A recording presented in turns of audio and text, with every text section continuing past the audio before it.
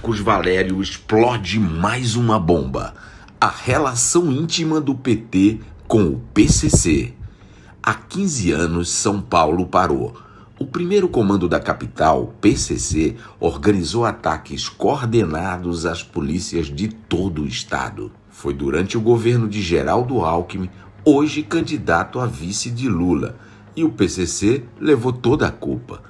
Até que Marcos Valério, em mais uma delação premiada, trouxe a verdade à tona. Ele ouviu do então secretário-geral do PT, Silvio Pereira, detalhes sobre o que seria a relação entre petistas e o primeiro comando da capital, o PCC, que Celso Daniel, morto em 2002, tinha um dossiê que revelava todo o esquema do partido com as empresas de transportes ligadas a membros do PCC. Está com o seu Silvio Pereira. E o Silvio virou para mim e falou: Marco, o, o Ronan quer revelar que além dos ônibus, a gente recebia dinheiro de BIM.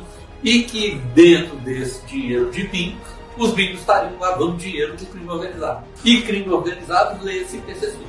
Daniel foi assassinado e o dossiê sumiu misteriosamente.